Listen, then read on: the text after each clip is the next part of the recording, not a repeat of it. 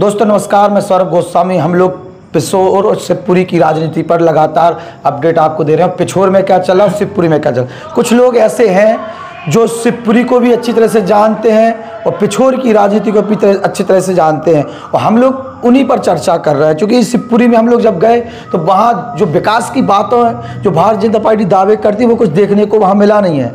पिछोर में के पी सिंह यहाँ से चुनाव लड़ते थे, नहीं लड़े हैं। इसके बाद की जो समीकरण बनना है, लोधी प्रत्याशी को आगे किया है।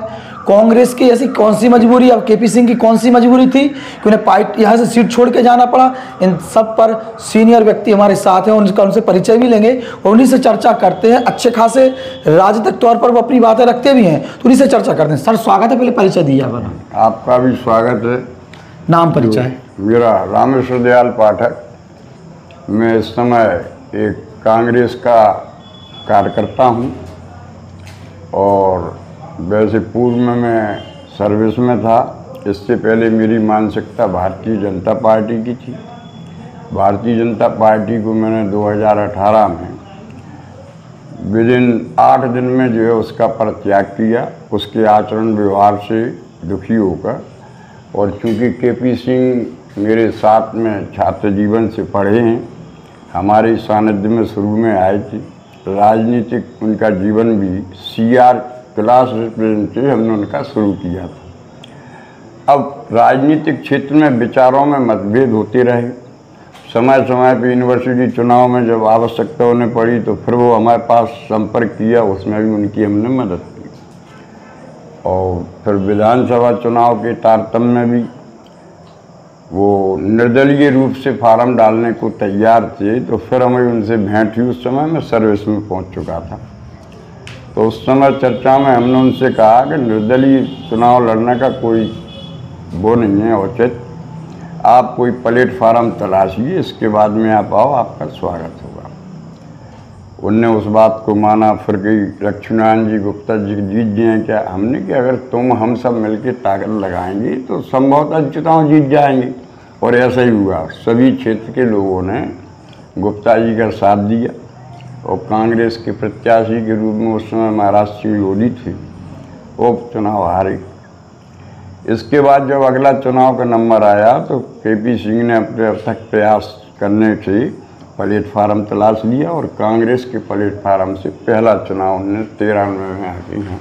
विधायक का? विधायक इसके। पहले जिला पंचायत जिला पंचायत जिला तो यूनिवर्सिटी अध्यक्ष रहे जनपद अध्यक्ष हाँ रहे। जनपद अध्यक्ष वहीं जनपद अध्यक्ष के बाद में उनको ये प्लेटफार्म कांग्रेस का मिला और पहला चुनाव उनने लड़ा। अच्छा थोड़ी सी हम उनकी जवानी की बात करेंगे चूँकि आप मतलब सा, साथ में उन्होंने पढ़ाई वढ़ाई की है। के पी सिंह जो आज हैं क्या वो जवानी में वैसे थे? जो के पी सिंह की जो बात कटता है वो वही है जो उस समय थी। अगर वो सत्य को स्वीकारता है और झूठ को नाकारता है। ये उसका स्वभाव अभी निर्मित नहीं हो गया ये पूर्व से ही जो वो ठान लेता है। न कहाँ से थे ऐसी सब चीज़ें? कैसे आई? क्या बब्बा या पिताजी ऐसे थे? ये तो ये समझो कि कमलेश्वर महाराज की कृपा है उन पर ऐसी। कई लोग उनसे फिर भाग भी जाते होंगे अगर जब बोल देते हैं तो। अभी भी देखते नहीं। चाहे बोल देते कभी। वही बोल देते हैं लेकिन उनके विचारों को उनकी आत्मा से थोड़ी है। जैसे खोपड़ा है ऊपर से कठोर दिखता है लेकिन अंदर तो वो नरम है। वाणी है बोल दिया। लेकिन इसके बाद में जब कोई बात होती है तो वो बुला के उनको चर्चा करते हैं और संतुष्ट करते हैं। ऐसा नहीं है। अब चूँकि क्या है कि बोलचाल में तो हमारा भी स्वभाव ऐसा है। हम भी कोई बात हो झूठ बात हो तो हम सहन नहीं करते हम भी बोल देते। लेकिन इसका मतलब ये थोड़ी है कि जो अपने प्रिय लोग हैं उनको छोड़ थोड़ी देते। हैं उनने नहीं छोड़े ऐसे लोग। नहीं कोई उनने आज तक ऐसा कोई। अब कोई अपने आप अब जैसे यहाँ उनने तिरानवे में चुनाव लड़ा जी। वो भी एक रोचक कहानी जी। उस समय तिरानवे के चुनाव में विधायक बने और फिर यहाँ पर नगर पंचायत का चुनाव हुआ। उस नगर पंचायत के चुनाव में हमारी पत्नी जो है प्रत्याशी थी और इधर से उनने रमेश शर्मा को अपना प्रत्याशी बनाया। जी। और चूँकि नए विधायक थे और युवा ताड़नाई थी तो उनने कानून व्यवस्था को भी ध्यान में ही रखा और प्रथम सम्मेलन में वहाँ पहुँच गए। जी जी। और वहाँ कुछ भी अवैधानिक बातचीत हुई तो फिर बब्बड़ हो गया घेराबंदी हो गई दुनिया का ऊधम हो गया। लेकिन दुखद बात तो उस समय की है कि ये तथ्य की भूल के बाद में जिसके लिए उनने इतना कुछ किया वो वो व्यक्ति विकास कांग्रेस बनने पे विकास कांग्रेस के साथ चला गया। आज वो जो है भारतीय जनता पार्टी में चला गया। जबकि अगर कोई खानदानी व्यक्ति होता तो के पी सिंह का दामन मरते मरते तक नहीं छोड़ना चाहिए। माधवराव सिंधिया से भी उनके संबंध रहे। माधवराव सिंधिया के संबंध इनके रहे। अब चूँकि ये तो पार्टी से निष्ठावान हो गया आज की क्या स्थिति है? हम तो अपनी ये सब विधानसभा की जन्मभूमि और ये कर्म भूमि भूमि को नमन करते हैं कि इस भूमि में ऐसे सपूत पैदा हुए। जिसने कांग्रेस की निष्ठा को प्रमाणित कर दिया। जहाँ से भी छह चुनाव जो है जीतते आए हैं और इस विधानसभा की गरीब जनता और तमाम पूरी समाज की जनता उनसे जुड़ी हुई थी। अब उनको तो ये पता नहीं, भूली जनता है।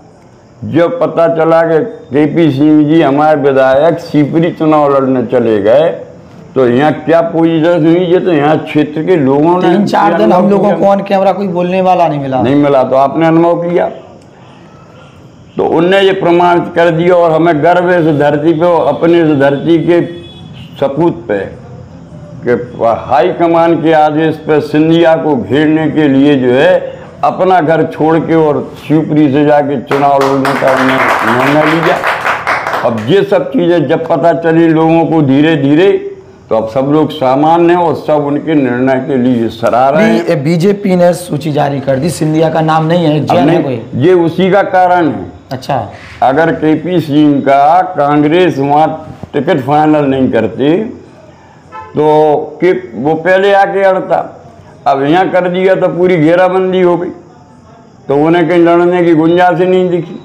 नहीं दिखी तो वो क्या उनकी वो पार्टी को उनका लेकिन इनको जो यहाँ से विस्थापित किया गया है वो हाईकमान के आदेश से किया गया। कहीं ना कहीं के पी सिंह को भी यहाँ से जाना बड़ा कष्टदायी हुआ होगा।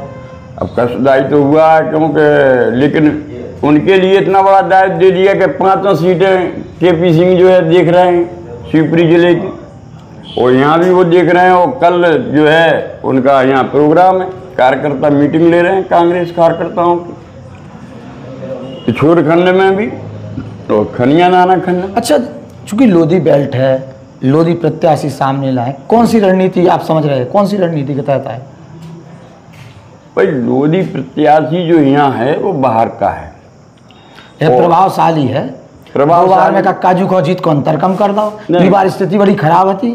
नहीं नहीं देखो ये तो लोगों की हम जब से देख रहे हैं जब हम भाजपा में थे तो यही नारा लगता था और चुनाव जब तक रिज़ल्ट नहीं खुलता था जब तक जो है जीत की रिज़ल्ट तो बता रहे रिज़ल्ट पहले कछुए थे फिर धीमे धीमे घटत दो हज़ार की स्थिति बन गई। हाँ, ऐसे आपने कही आपको तो ज़्यादा अनुभव है हमसे। कई जगह आपने देखा होगा ऐसी दतिया की स्थिति थी जैसे पच्चीस हज़ार से चुनाव हारा वो अगले चुनाव में वही पच्चीस हज़ार से छब्बीस हज़ार से जीता। तो क्या परिस्थिति अठारह में निर्मित थी? उनके लिए उनने तीन साल में कवर की। क्योंकि क्या तीन साल में क्यों कवर की? कि अठारह महीना की सरकार में जो कांग्रेस ने किन परिस्थितियों में क्या हुआ बहुत बड़ा उनको जो है डैमेज किया तो उस समय तो हमें ये लगता था बस वो कि नर्वस ना हो जाए। लेकिन नहीं उसकी छाती को धन है कि उसने अपने आप को धैर्य बांधा और कंट्रोल किया। बाद में धीरे धीरे जब परिस्थिति आगे चली तो पार्टी ने जो भूल की थी, उनने जो महसूस किया और हमें फिर देखने को मिला कि इनको दायित्व दिया गया। चयन समिति में जो है, विधायक जी के पी सिंह का जो है उन्होंने नाम स्थापित किया। तो माने उनने फिर अपना ग्राफ बढ़ा और जब से ही उनने क्षेत्र में हर जगह भ्रमण किया दौरे किए और अगली जो कमी उनकी थी उसको दूर करने के प्रयास किए। उस तारतम्य में आपने देखा होगा खनिया दाना बेल्ट थोड़ा कमज़ोर रहता था। उसके कारण भी लोगों के निजी थे कुछ। उनको ये लगता था कि अवैध काम हम करें पत्थर बजरी का और ये काम हमारे के पी सिंह पसंद नहीं करते विधायक। वो ये कहते हैं कोई भी काम करो कानून की परिधि में होना चाहिए और अगर उसमें कोई दिक्कत आती है तो उसके लिए मैं आपके लिए मदद को तैयार लेकिन हर आदमी जो सोचता है कि पैसा चाहिए कुछ भी हो तो वही मदद करो तो ऐसा संभव नहीं हो पाया। इससे वहाँ विरोध का कारण बढ़ा शैलन सिंह को चेहरा बनाया था क्या था उसके पीछे शैलन सिंह को चेहरा इसलिए बनाया था कि उनको पूरी विधानसभा का अच्छा अध्ययन है और जनपद खनिया थाने से शैलन सिंह पुरानी स्टेट राजघराने का से संबंध रखती। तो खनिया थाना की जो रियासत है, वो उनकी स्टेट से जुड़े हुए सब लोग हैं। उन्हीं की ज़मीन थी, राजाओं की सब ज़मीन होती थी। उनके बसाए हुए लोग थे, उन्हीं की ज़मीन पे आज जो है सब राज का जो आनंद कर रहे हैं। तो उनका हक बनता था। उनके पिताजी भी पहले विधायक रहे। फिर हक्का छुड़ा लो। अब उनकी परिस्थिति समिति में तो कक्का जी होते हाँ। हद नहीं। लेकिन क्या है कि ये राजनीति में बहुत सी चीज़ें देखना पड़ती हैं। उनके प्रति लोगों का कुछ रुझान कम समझ में आया और कुछ लोगों ने इस प्रकार की आरोप प्रत्यारोप भी लगाए कि के पी सिंह भी ठाकुर हैं और ये इन ठाकुर को ही दे दिया जबकि इन ये तो जाति भेदभाव करते नहीं थे। और उन पर जा, जाति भेदभाव नहीं करते थे और उन पर आरोप लगना शुरू हो गया। के पी सिंह पर आरोप सबसे पहले प्रीतम लोधी ने लगाओ फिर पंजाब सिंह ने लगाओ बीजेपी के कार्यकर्ता ने कर्रो लगाओ। अब देखो प्रीतम सिंह आरोप लगाने के लिए प्रत्याशी हैं तो वो अधिकृत हो जाते हैं। चीज़ कह रहे थे कि मज़ा नहीं आ रहा कक्का जी से लड़ते थे मज़ा आता मज़ा नहीं आ रहा। अच्छा लड़बे हो कक्का जी ने तुम ग्वालियर में लड़ लो यहाँ तो राजनीति जो है तो जनता लड़त।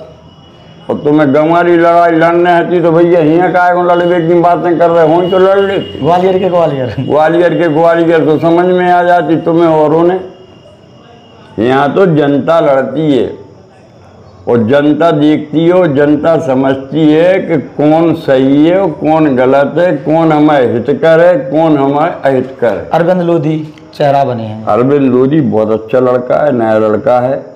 अच्छे परिवार से है। एक किसान का बेटा है, एक कर्मचारी का भी बेटा है और काफ़ी राजनीतिक, लोकतांत्रिक पति में कई पदों पर रह चुका है और वो अपनी ईमानदारी और अपनी सरलता और मृदु भाषा का वो भी दे चुका है प्रमाण। आवाज़ स्थिति ये है कि एक तरफ़ सदाचारी, एक तरफ़ दुराचारी अब इस स्थिति में चयन तो जनता को करना है। अब वो यहाँ जो आया था जलालपुर से, भाजपा ने केवल ब्लैकमेल कर रखा था। जब देखो जब बाहरी प्रत्याशी उसी समाज की तो पहले तो यहाँ की जनता को यही खेद है कि दो लाख अड़सठ हज़ार मतदाता हैं। तो भारतीय जनता पार्टी को दो लाख अड़सठ हज़ार में कोई ऐसा व्यक्ति नहीं दिखता, कोई ऐसा चेहरा नहीं दिखता कि जो भारतीय जनता पार्टी का प्रत्याशी हो जाए। बड़ा अफसोस और दुख की बात। जब देखो, जब बाहरी और एक जाति वही उसी का। अब जो है, इसी क्रम में हम तो कांग्रेस कमेटी का जो है, मध्य प्रदेश की और केंद्रीय कार्य समिति को जो है धन्यवाद ज्ञापित करते हैं और उनका बड़ा एहसान है। कि उनने हमारे विधायक को इतना बड़ा दायित्व दे के वहाँ भेजा और यहाँ पर उनने भी ये साबित कर दिया कि हमारे पास जाति भेदभाव का नहीं है और एक उसी लोधी बख्त समाज के व्यक्ति को, युवा को उनने टिकट दे के अब जनता के हवाले छोड़ दिया कि अब जो तुम्हारा काम है, तुम निर्णय करो। और जब से उसका टिकट घोषणा हो गई है तो दो दिन से आप देखो उस महफिल में मायूसी छा गई। क्योंकि जो एक मुटैया उस प्राप्त करता था अब मुटैया का बंटवारा हो जाएगा और, हाँ, और यहाँ तो जो के पी सिंह की तीस साल की कड़ी मशक्कत के बाद जो लोगों की मदद और जुड़ाव रखा है वो बरकरार पूरा माल जो है उस अरविंद सिंह को सौंप दिया जाएगा। और तीन तारीख को जब परिणाम आएगा तो फिर हम आपसे मुलाकात फिर करेंगे। अच्छा थोड़ा सा शिवपुरी कर शिवपुरी पर बोलिएगा। अच्छा शिवपुरी शिवपुरी की, की जो है मैं वहाँ कर्म भूमि मेरी शिवपुरी रही और मैं दस साल निरंतर दो शिफ्टों में शिवपुरी शहर रहा। जब इनको वहाँ भेजा गया तो जब ये यहाँ विधायक बन गए तो इनका भी क्षेत्र वही रहा। जब छात्र जीवन यहाँ से शुरू हुआ यूनिवर्सिटी का अध्यक्ष रहे तो पूरे ग्वालियर संभाग के छात्र नेता जितने भी थे हम्म, वो इनके संपर्क में। तो शिवपुरी का जो तो ग्वालियर संभाग के किसी भी विधानसभा में पहुँच जाएँ तो इन हमारे समकालीन जो छात्र नेता हैं वे वर्तमान के उस क्षेत्र के का नेतृत्व कर रहे हैं। किसी भी दल से कर रहे हो लेकिन कर रहे अब समय लंबा हो गया है अब कुछ नई पीढ़ी भी आ गई है।